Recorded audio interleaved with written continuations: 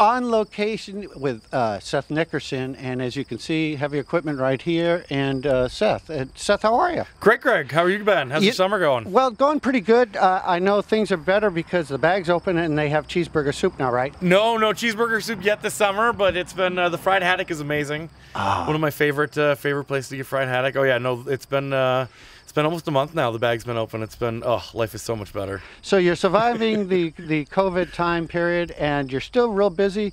You, you do a potpourri of products. You do a, do a whole different services, rather. Yeah. Rigging, craning service, and uh, we wanted to ask you uh, specifically about the, the cupola at the fire station. Can you give us a play-by-play with that? Well, we set the uh, I set all the trusses at the fire station a couple weeks ago. Um, it's a 60 by 80 building, two-piece trusses, and uh, we set that a couple weeks ago.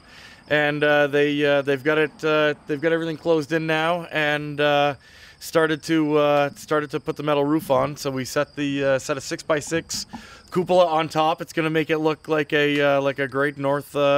Northeastern, uh, big, big, big, big barn. It's uh, it's a great looking building up there. Well, it is a good-looking building. I noticed on the front.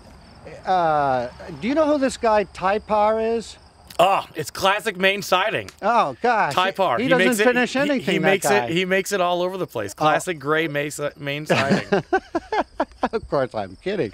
But uh, the the cupola does look nice up there, and uh, the view is amazing, huh? yeah. Oh no. I mean, they the fire station got one of the greatest views. You see the mountain from. Yeah. Uh, you get the whole view right there. There's it's a fire. It's a great place. Yeah. Now, you got a lot of different equipment here. Tell us some of the.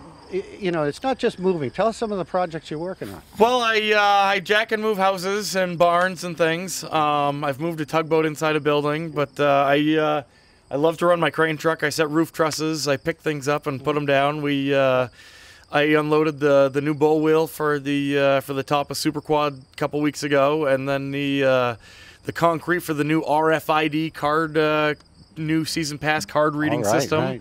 Um, they're gonna have one at Super Quad, one at Double Runner Chair. They set up two at uh, over to Whiffletree, so you can kind of come in from either end of Whiffletree still. Mm. And uh, yeah, it's gonna make things uh, it's gonna make things a little faster sometimes. Do I you think. think? Do you think the uh, the iris scan is going to slow things down? The iris scan.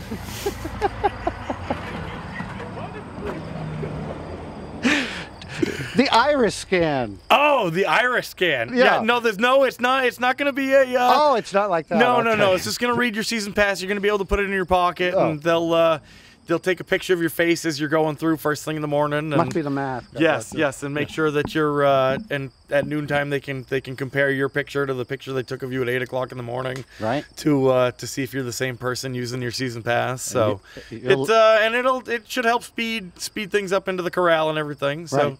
it'll be interesting. So that's a fun project. And jacking, uh, you do rigging, crane service, and jacking. yeah, I Have you, jack have, up. ever, have you ever done car jacking? Uh, I actually I pulled a uh, I pulled a pickup truck out of Flagstaff Lake in the middle of the winter time with a crane out. truck.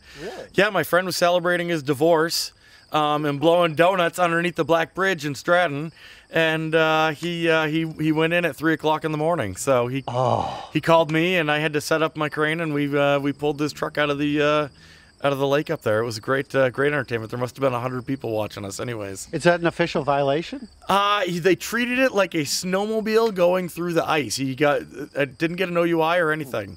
So yeah, they gave him 30 days to get the truck out, and we had it out in a matter of hours. So That's a great story. When does Yeah. your book come out? it, uh, we'll see, we'll see. You know, my father was a great storyteller, and uh, it's one thing, one thing he passed along. So he certainly did.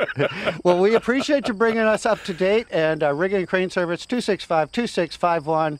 And remember, when you're heading by uh, the uh, complex here, uh, drive the speed limit. What is it? 25 miles 25 an hour. miles an hour. coming Remember that. town. And we appreciate your time and keep Yeah, up no, the great great, work. It's great to see you and Andy. Have a great day, guys.